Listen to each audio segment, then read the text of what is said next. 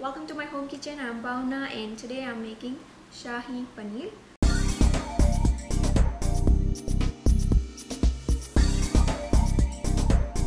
It's basically Indian cottage cheese in a creamy gravy.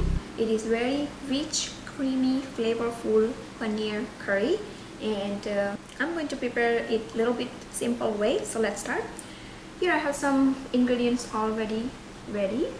I have some tomato puree, onion, cashews, some spices, ginger garlic. Here I have this uh, non-stick pot and into this pot I'm going to add butter. If you wish you can cook this curry with oil but I kind of like to use butter or ghee. Turn on the stove. Here is the butter.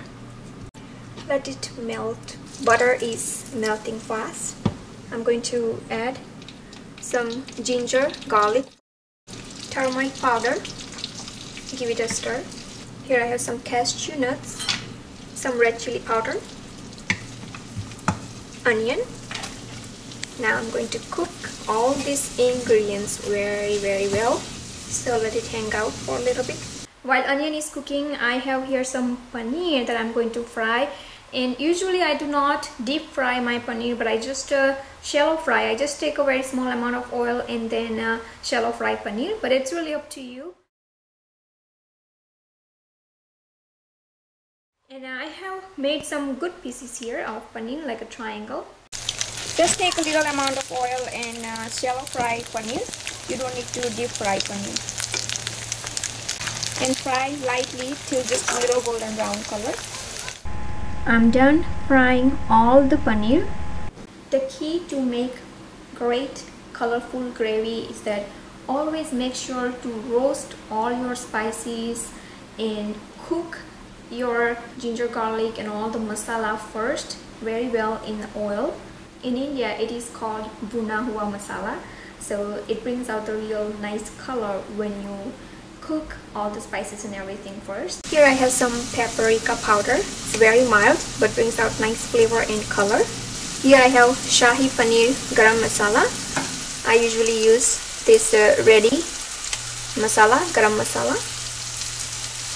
Give it a good stir.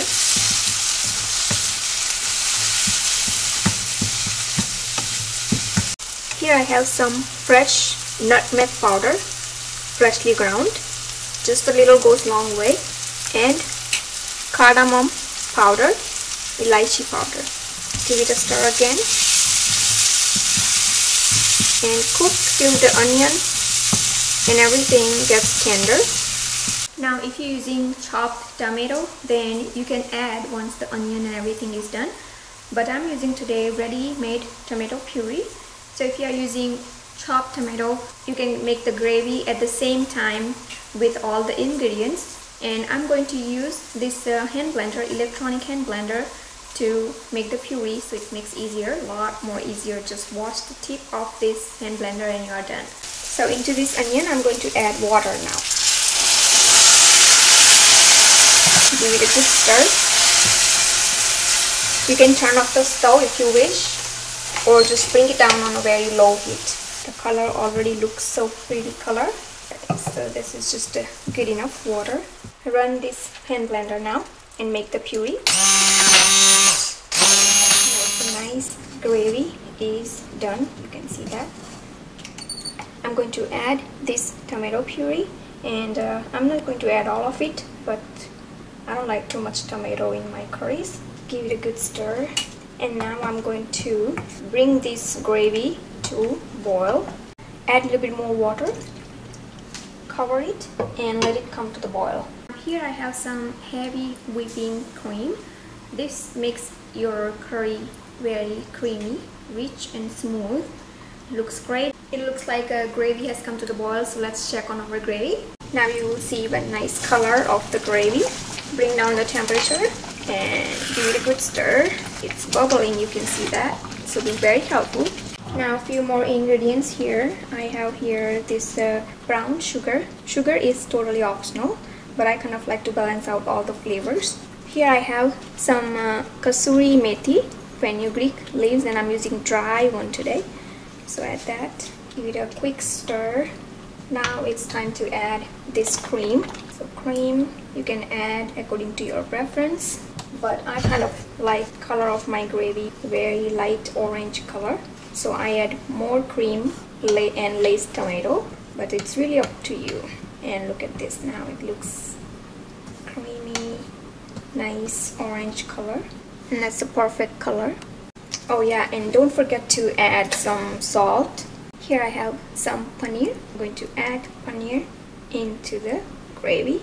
And I kind of give little nice shape like a triangle you can cut cube or however you like. And this curry is ready. So this aromatic rich creamy shahi paneer is ready in no time. I really love to cook this curry because it's very simple not much ingredients. Well it's up to you. You can make it uh, very flavorful or you can keep it simple. And um, you can serve this with naan roti paratha even rice. Goes very well now on the top you can also sprinkle some finely chopped green chili if you wish. And here I have some today. Look at the curry. Looks so yummy already. Here I have some finely chopped green chili.